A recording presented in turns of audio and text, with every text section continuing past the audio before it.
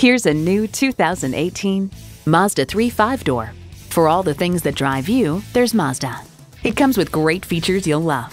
Streaming audio, doors and push-button start proximity key, front heated leather bucket seats, auto-dimming rear view mirror, wireless phone connectivity, dual zone climate control, inline four-cylinder engine, power sliding and tilting sunroof, gas pressurized shocks, and power heated mirrors.